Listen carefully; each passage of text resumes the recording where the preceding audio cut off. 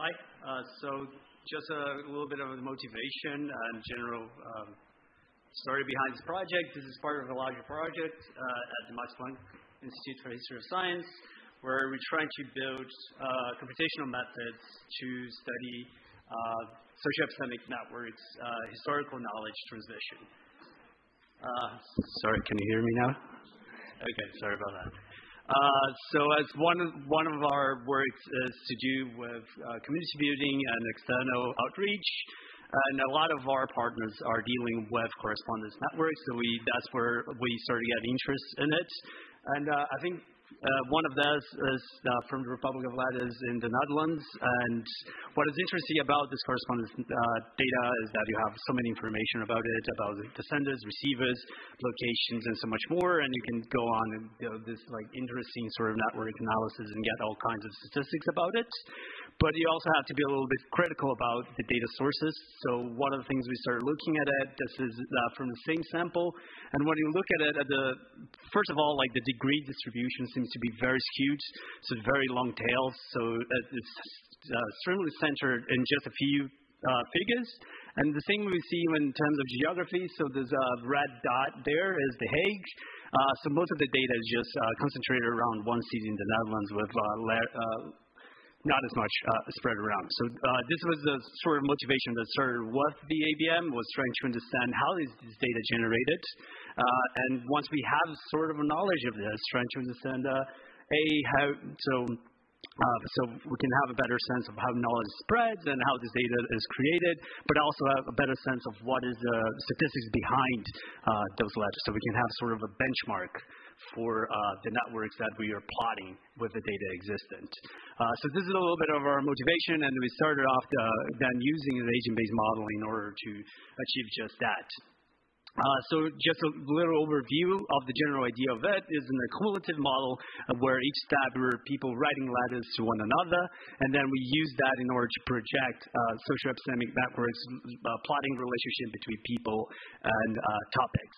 But this is also a self-reinforcing uh, ego random walk, where uh, the networks affect the likelihood of whom I'm connecting to, but each letter then reinforces the network. So I'm more likely to write again to the same people uh, about the same topics. Uh, and then we started agent-based with this idea.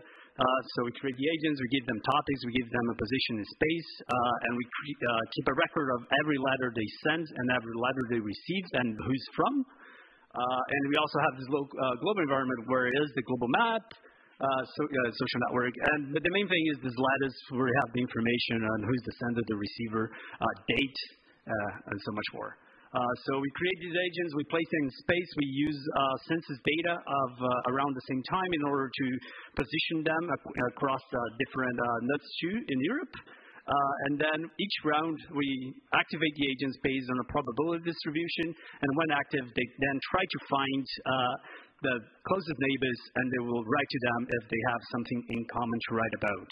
Um so the best way to sort of understand this would be, uh, again, with the ego reinforcement, would be sort of a multi-urn model, where you first pick up the sender, and the sender, the more letters they send, the more likely they will write it again. Then we pick up who they're going to write to. Again, reinforcement. The more they write to someone, the more they will likely write again. And after we run this model, we started with a, so just a brief introduction, we started with 100 agents. We run that for 100 time steps. And at the end, we get a uh, just double ledger uh, timestamp. So this is a little bit of, uh, so I guess not very good to see that, but we have, again, like the information is the sender, the recipient, the location, uh, the topic.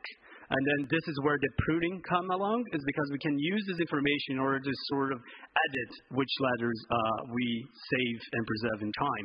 So we can delete all the letters from certain or preserve only the letters from certain uh, receivers. We can do that based on topic. We can do that based on time.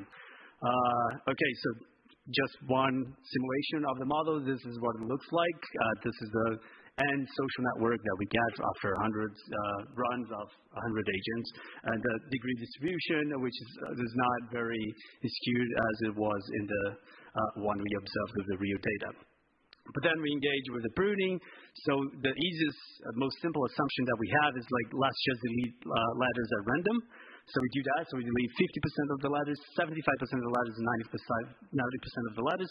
And then the, the, the degree distribution start to look a lot more like an exponential one. So showing that maybe this is one of the things driving uh, this very skewed distribution that we see. But what's more interesting for us was the idea that the network structure itself seems to be very resilient, seems to be the same even when we delete 90% of the letters.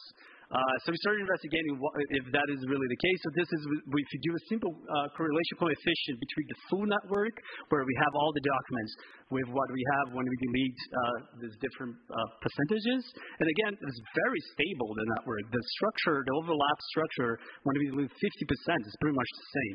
So we started thinking, why could that be? And then we realized that it is the very initial hypothesis that we have is the ego reinforcement that is doing that. So it creates um, a lot of extra letters from the same person again and again. So it means that even when we delete this information is not getting lost in time. So our main hypothesis is what driving this sort of resiliency.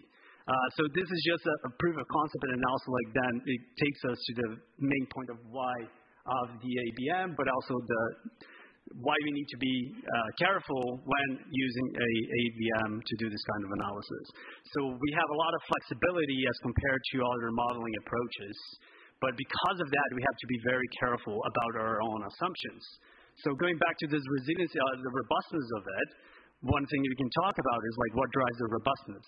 So let's say we add this idea of a small world network. Before we run the simulation, with 20% of probability, we rewire the connections that they have with the local neighbors to long ties. So now I have connections with, so someone from The Hague might have a connection with someone in Stockholm. Uh, and then what we see is that the network seems to be as robust when we add that. And it, this is because those long ties are not as resilient in a way. You don't have as much uh, copies of the same letters. And once they're gone, the network sort of fragments. So again, this is the idea that our hypothesis is what driving uh, the effects of the deletion on the, the networks. Uh, so another way of seeing this, and I'm going to go very fast, is that we can see these different network statistics and how this combine. Uh, so blue ones, I, actually don't think you can see it, but blue ones is without uh, a local network. Red ones is with a small world network simulation. We're seeing how much variation we get in path length and centralization. Uh, the other thing, so right now we are only playing with different variations of the startup of the model, but you can also think about how the deletion or the pruning affects uh, some of the statistics. So instead of deleting at random, what happens is we preserve 25% of the letters from uh, the top five people, the ones who have most letters, but we delete 90% of everyone else. And then what we see is that in the network, you start the centralization starts shifting to the right. So start getting more centralized. Uh, and just for uh, uh, sake of reference, the dashed red line is the one we observed with the Dutch network. So as you can see, starting getting closer and closer in a way to what we actually observe. So this idea that maybe Uh, the data archival is what is driving the results that we see in terms of centralization. Uh, And then this is just certain things that we're thinking about, how it's the top of the model, but it can also how that relates on the deletion of the letters. Another thing we this is the main point of agent-based modeling, and it's something that we haven't really stepped into and we're starting to considering is the heterogeneity. So agent-based modeling allows you to not have uh, uh, representative agents. Uh, each agent can be different, and we can give them like different variables, and this can then play a role into how these networks are built. Uh, so we started discussing, for example, in the terms of gender and how can we add that to this network. So we can have uh, uh, the people have different activation rates, or they have more homophily, they're more likely to connect with one another, they're more likely to write about certain topics that are less likely to preserve, or simply uh, they're more likely that their letters don't survive in time. And does that affect uh, the overall network? So just to conclude a little bit, uh, what we have, what I was trying to show here is a proof of concept. This idea that we can use this model in order to understand how both our hypotheses of what is driving the creation and exchange of the lattice, but also what is preserving or not this lattice affects the general structure of those social networks. Uh, but now what we need is a means to have a robust way of seeing these things and, and visualizing these effects. Uh, and this is a problem with agent-based models in general. There is not really a well-established, robust uh, means of conveying this kind of information. But we were then uh, um, reaching out to this sort of network morphospace in order to try to do that for our case. So what we have at the end of every simulation, we're keeping this sort of data that we have information on Uh, what is the very uh, assumptions behind the agent base. So we have like, is there an activation rate? So do agents have like less uh, have different probability of sending lattice? Do we have this small world connection? We can also see instead of just being true or false, this could be, um, for example, the small world, what is the rewiring probability? So it's like 50% of the lattice or not is rewiring. How is it that we delete the lattice? Uh, is it at random? How much are we deleting? And in the end, we have another uh, part of the table, which is the information on the networks. So in this case, what we have is the variation. So how much the network differs from the one when we have the full sample. Uh, and then with this full information, we can try to do some sort of of um, PCA in order to understand a little bit of how these things are clustered together. So what kind of hypothesis relates with what kind of uh, uh, networks. And then we can also plot our own networks that we observe with the historical data to see how they're positioned in this morphospace as compared to uh, the ones we generated with these different sort of assumptions. Again, so this is very fast. But if in case you're interested, you can always reach out to some of our model and try to so you can try for yourself, run some of these versions of this lattice sending model. Okay.